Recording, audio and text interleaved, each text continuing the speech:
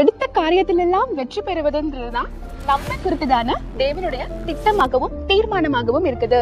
அதனால சுத்தி என்ன நடந்தாலும் சரி அந்த நிகழ்வுகள் எல்லாம் நமக்கு விரோதமான காரியங்கள் எல்லாமும் கூட நம்மளுடைய கோலை நம்ம போய் அடைவதற்கு தடையாக இருக்காது. ஜெயிக்கிறதுக்காக தான் இந்த உலகத்துல பிறந்திருக்கிறோம். ஜெயம் என்பது நம்மளுடைய ஆற்றலாகவே இருக்குது.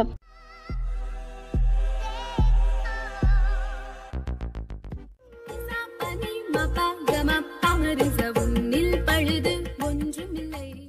ஐயா நல்ல ஒரு ஊழியம் செய்கிறாங்க அவனுடைய மகள் இது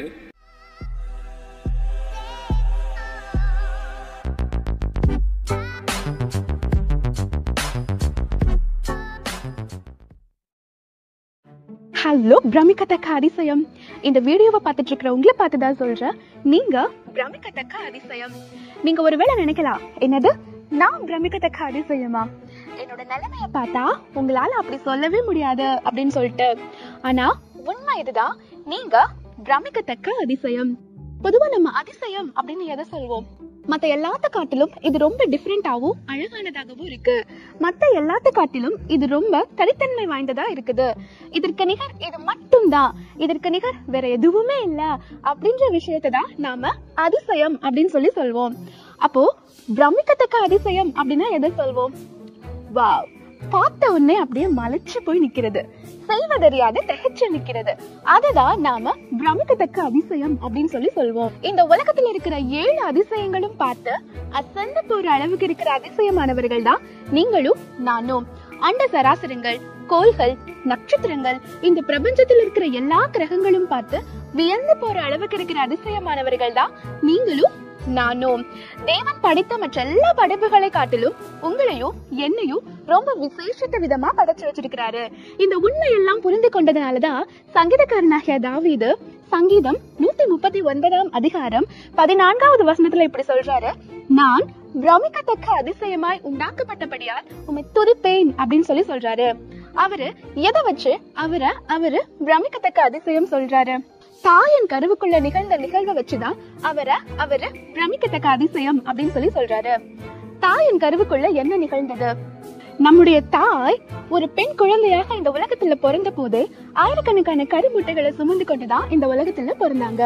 அதே மாதிரி நம்முடைய தந்தையினுடைய வயிற்றுக்குள்ள ஆயிரக்கணக்கான லட்சக்கணக்கான உயிரணுக்கள் காணப்படும். இந்த எல்லா உயிரணுக்களும் இந்த எல்லா கருமுட்டையும் இணைந்து குழந்தையா மாற போறது கிடையாது. எது கத்தராக இயேசு கிறிஸ்துவால தீர்மானிக்கப்பட்டிருக்கிறதோ எது அவரால அழைக்கப்பட்டு தேர்ந்தெடுக்கப்பட்டிருக்கிறதோ அந்த உயிரணுவும் அந்த கருமுட்டையும் இணைந்ததா ஒரு குழந்தையா இந்த உலகத்துல பிறக்குது. இந்த உயிரணு எப்படி இருக்கும் அப்படின்னு சொன்னா சின்னதா தலை மாதிரி ஒரு அமைப்பு இருக்கும். அப்புறம் வால் போன்ற ஒரு அமைப்பு இருக்கும். அவ்வளவே தான் ரொம்ப ரொம்ப சின்ன சைஸ்ல தான் ஒரு உயிரணு இருக்கும். அப்புறம் இந்த உயிரணுக்கு நகரக்கூடிய திறன் இருக்கு. அது நகர்ந்து சென்று தாயினுடைய கருமுட்டையை அடையும்.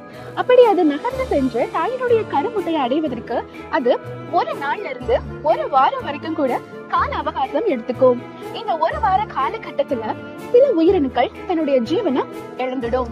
சில உயிரணுக்கள் ஒண்ணுக்கொன்னு சண்டை போட்டுக்கிட்டு டைம் வேஸ்ட் பண்ணிக்கிட்டு இருக்கும். சில உயிரணுக்கள் தொடர்ந்து முன்னேறி செல்ல முடியாம டயர்டாகி சோர்ந்து போகி ஒண்ணும் இல்லாம ஆயிடும். ஆனா தேவனால தெரிந்து கொள்ளப்பட்டிருக்கிற உயிரணு என்ன செய்யும் தெரியுமா? அது டயர்டே ஆகாம சுத்தி என்ன நடந்தாலும் சரி அது சோர்ந்து போகாம கவலைப்படாம தொடர்ந்து தன்னோட கோல் அந்த கோலை நோக்கி அது தொடர்ந்து முன்னேறி கொண்டே செல்லும். முன்னேறி கொண்டே சென்று அந்த கோல் அடைஞ்சதுக்கு அப்புறமா அது முட்டி மோதி போராடி அந்த கரு முட்டைக்குள்ள சென்று ஜீவன் பெற்று வளர்ந்து ஒரு கருவா உருவாகுது. பாருங்க அதுதான் நீங்களும் நானும். நாம் தாயின் கருவில இருக்கும் போதே ஆண்டவராகிய இயேசு கிறிஸ்துவனுடைய கண்கள் நம்மை கண்டது அவருடைய கிருபை நம்மளை தாங்கினது. அவருடைய கிருபைனாலதான் நம்ம தாயின் கருவிலையே காக்கப்பட்டோம்.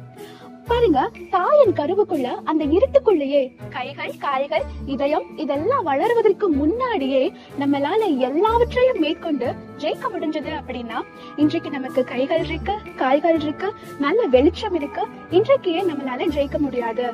கண்டிப்பா நாம எடுத்த காரியத்தில் எல்லாவற்றிலும் வெற்றி பெற முடியும். நம்ம தாயின் கருவுக்குள்ளேயே ஜெயிச்சதுனாலதான் இந்த உலகத்துல பிறந்திருக்கிறோம். இன்றைக்கும் இந்த உலகத்தையும் மாம்சத்தையும் பிசாசையும் ஜெயிக்கிறதுக்காக தான் இந்த உலகத்துல பிறந்திருக்கிறோம்.